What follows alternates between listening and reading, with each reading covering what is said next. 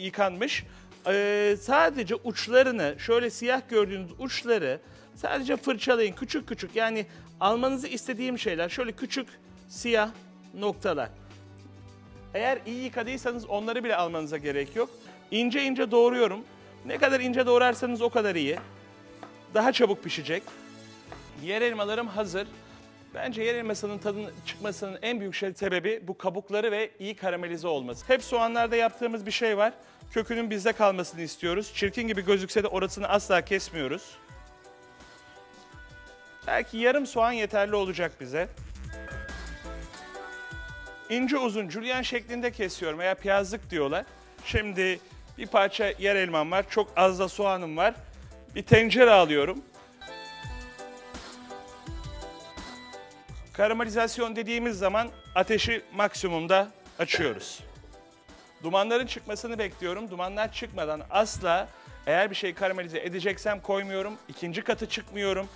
Dumanlarımı gördüm.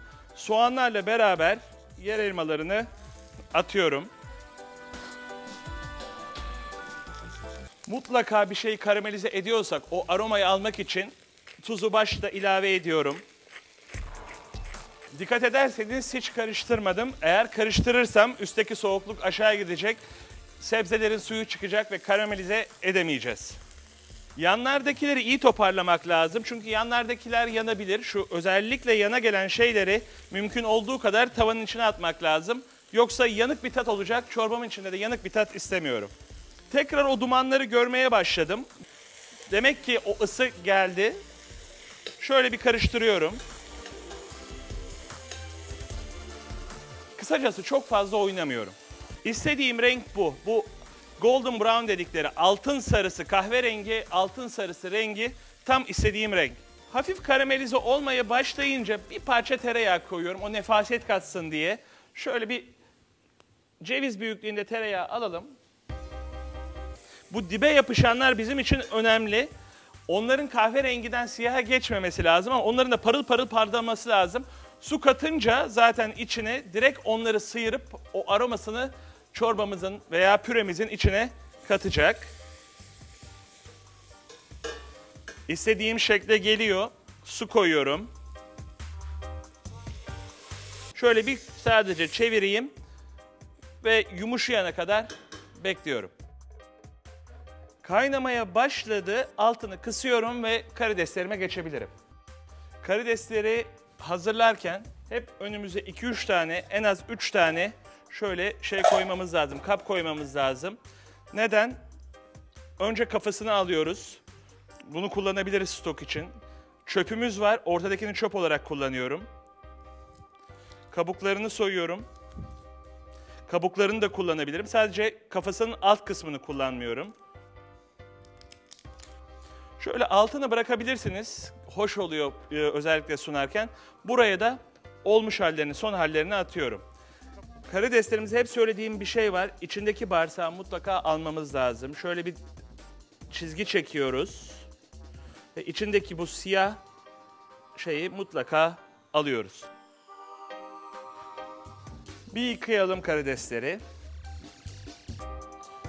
Güzelce bir kurulayalım.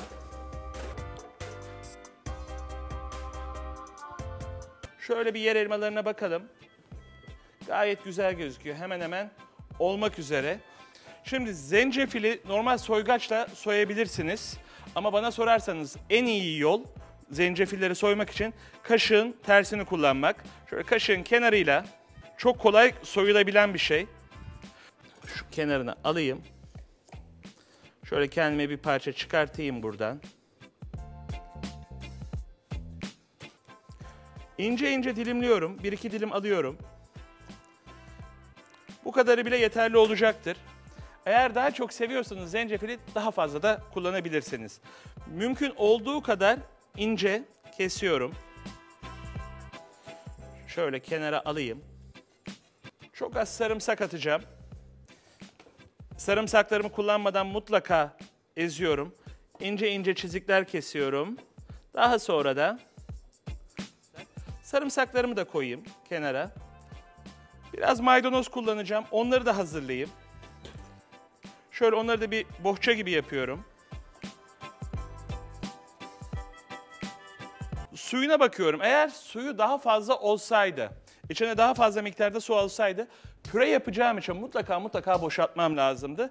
Daha sonra ekleyebilirim kıvamını açmak için ama eğer kıvamını tutturamazsam bir daha kıvamı koyulaştırmam çok zor olur. Onun için eğer fazla su varsa, biraz fazla su kaçırmışsanız onu mutlaka bir kenara alın süzgeç yardımıyla. Sonra pürenizi yapın. Şimdi güzelce püre haline getirdim. En son bir parça tereyağı atıyorum. Özellikle pürelere, özellikle de kök sebzeleri pürelerine bir parça tereyağı çok yakıştırıyorum. İki sebebi var. Hem böyle bir hafif tadını kırıyor, kendine has bir tat katıyor hem de bir parlaklık katıyor. O parıl parıl çorbalar veya parıl parıl parıl diyen püreler için lazım. Püremi koyayım, sonra ısıtacağım çünkü. Gelelim karideslerimize. Altını açıyorum.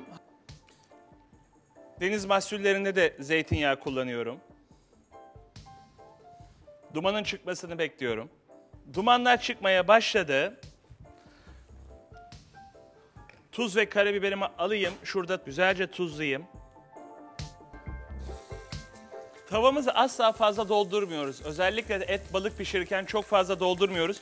Ne kadar az doldurursak o kadar iyi çünkü ısı o kadar az düşecek. Bir 30-40 saniye hiç kıpırdatmadan bekletiyoruz ki karamelize olsun. Daha sonra diğer tarafını çeviriyorum. Dikkat ederseniz hep kaşık kullanıyorum.